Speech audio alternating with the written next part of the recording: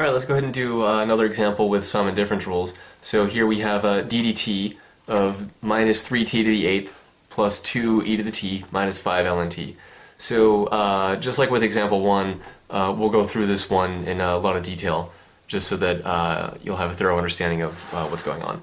So let's uh, zoom out a little bit maybe. Yeah, alright. So this is going to, actually no, let's just stay down here. this is going to equal ddt of minus 3 t to the 8th plus ddt of 2 e to the t uh, minus ddt of 5 ln t. Alright, so um, here we're using the sum and difference rule together actually because what we have is uh, this plus this but then minus this. All right. So no matter how many terms you have, you can just split it up into a sum or difference of derivatives of each term. So in other words, you can differentiate term by term. Uh, is how that's called. You differentiate term by term. Uh, and that's actually really helpful because if you have a really messy, complicated expression um, that you have to take a derivative of, uh, it's really helpful if you can only, you know, if you only have to look at it term by term. Um, but anyway, so continuing with this, uh, what's next? Here, negative 3 is just a constant, right? So we can just pull it out uh, of the derivative. So that's negative 3 times uh, d dt of t to the 8th.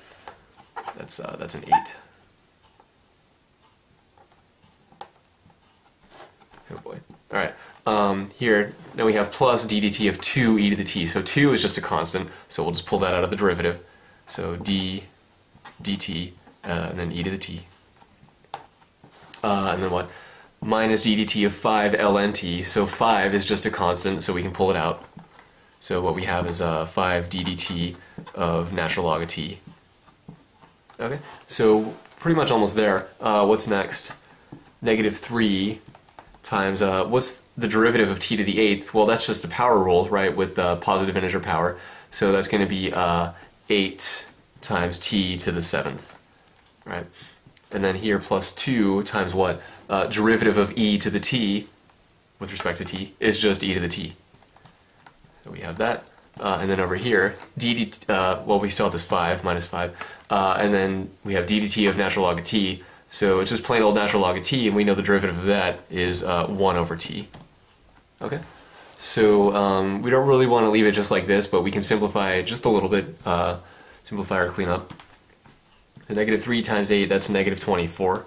So we have negative 24 t to the 7th uh, plus 2e to the t. And then we can write this as minus 5 over t.